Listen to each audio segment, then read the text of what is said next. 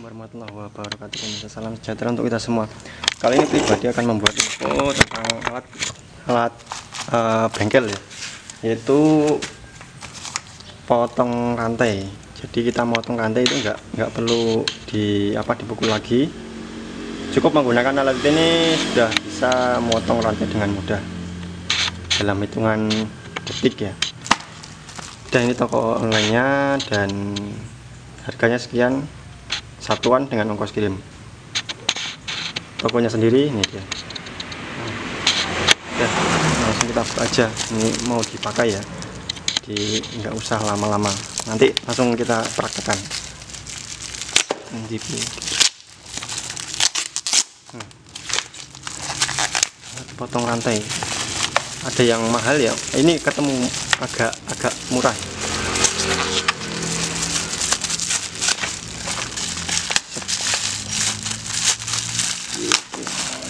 tuh keras.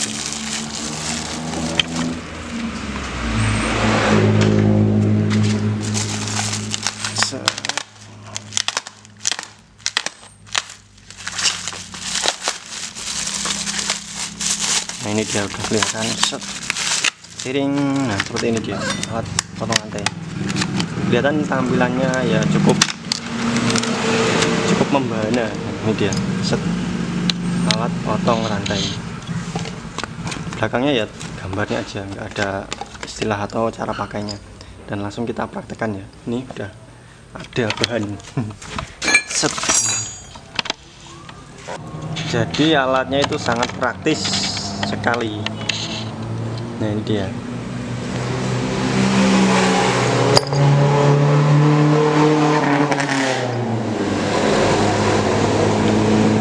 Kalau dimensi ukurannya ini pribadi carikan garis ya biar enggak penasaran. Ya, ini lanjutan lagi sedikit. Nah pribadi sebelumnya enggak tahu jadi pribadi pelajar ya. Dia ini seperti ini kegunaan e, cara pakainya. Ini kita putar dulu terlebih dahulu set, sampai mentok. Nih di ini sampai mentok ya set, nih. kita putar sampai mentok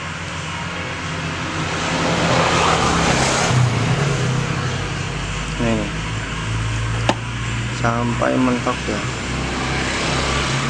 Kemudian ini dimajukan set nah set. Tuh malah jatuh. Seperti ini set. Jadi nanti ini masuk rantainya di sini menekan ya. Setelah menekan terus kita masukkan si ininya. Nggak dilepas ya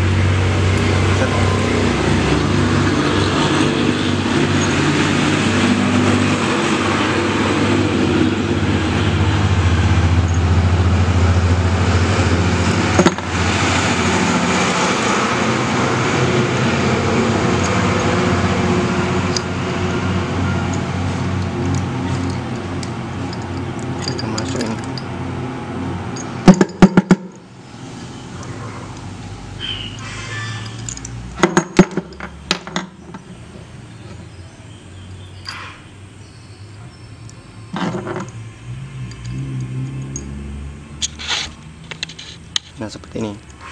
Jikalau sudah masuk.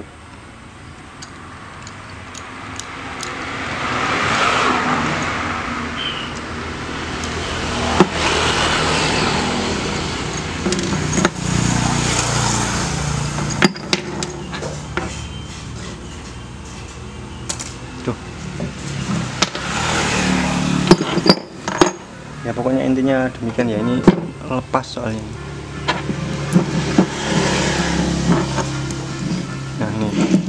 kalau sudah nanti kita masukkan set. Nanti tinggal dorong ya sistemnya dorong. Kita putar dari sini set. Terus sampai keluar dari sini set. Kita paskan. Contoh ini ada.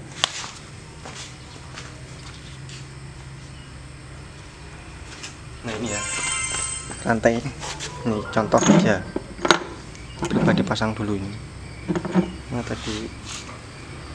Di dalamnya itu ada per terus ada tuasnya. Tuas untuk mendorong dan ini ada bearing satu biji. Kemudian kita putar. Set. Nah demikian. Ini kan udah ya? Set. Terus kita masukkan. Ini.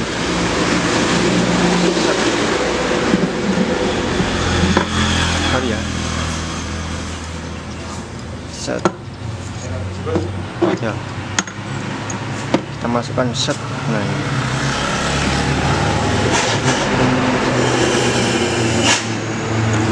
Kita tahan. Nah seperti ini. Pastikan dudukan di belakangnya ini apa sudah masuk ya tatakannya dan siap kita dorong. Set. Nah, demikian.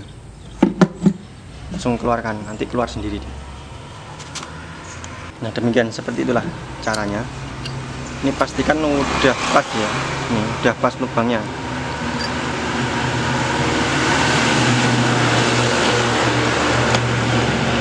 Set. Nah ini udah pas lubangnya.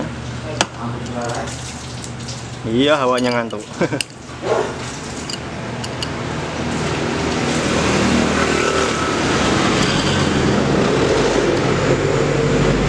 Dan pastikan udah pas. Kalau belum pas jangan dipaksa ini udah pas ya. Jadi set nah demikian. Set. Terus kita dorong. Kencangkan ya kencangkan di sini. Kemudian dorong. Set.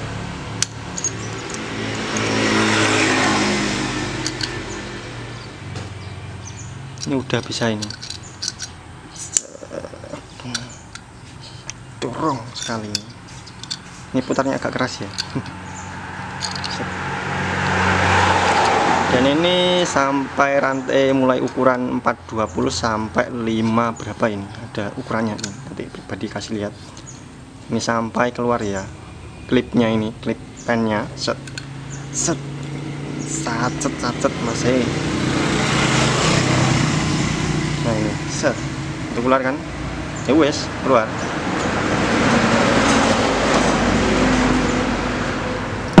Aduh ini piye nah ini udah udah keluar ya? Ini pakai kunci ini. Piye ini pakai kunci sih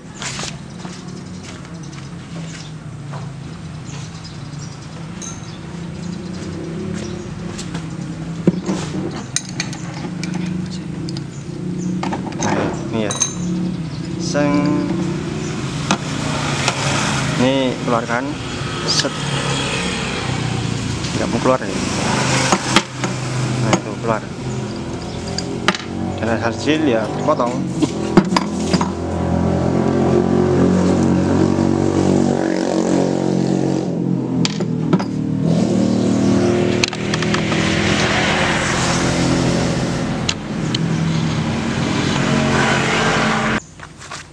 dan ukurannya ini bisa sampai 420 sampai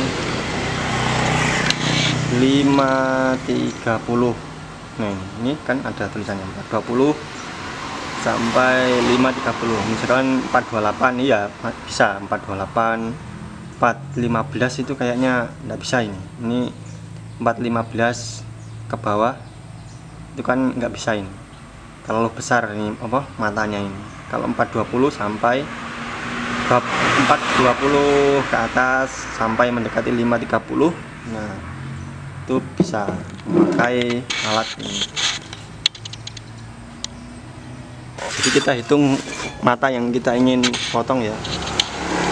Ini pribadi udah hitung dari sini ujung ya.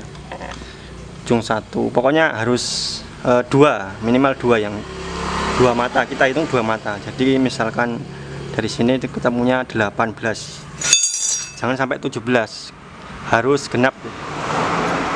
Di sini ya coba kita praktekkan. Ini sepertinya mudah atau gampang ini ya? Ya pribadi cek dulu ya. Duh timong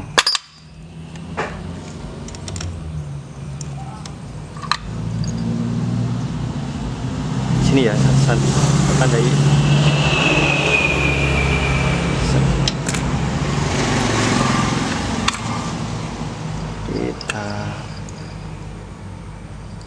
set. Kayak wangel nih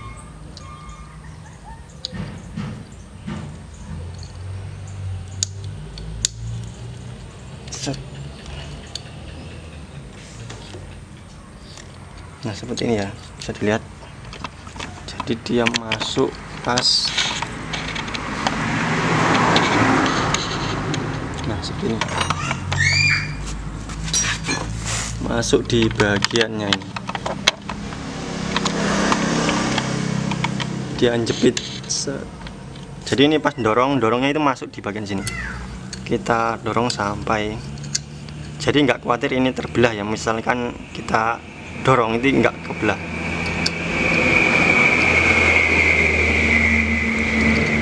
Sampai ini bisa ditarik. Lihat nggak? Nah ini dia ini lepas ya. Pennya atau penahannya itu dalam udah lepas. Dan langsung kita keluarkan. Set. Dah. jadi ini nggak takut kebelah ya. Biasanya kan ada yang dulu pernah pakai itu di sini aja tapi kita pas dorong itu dia apa? Kebelah. Jadi ini nggak kebelah. Dan langsung kita sambung. Tuh ini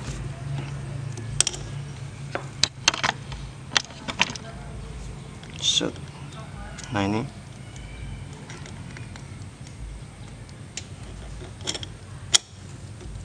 Nah. dan hasilnya ya rapat ya maksudnya bagus baik nggak ada cacat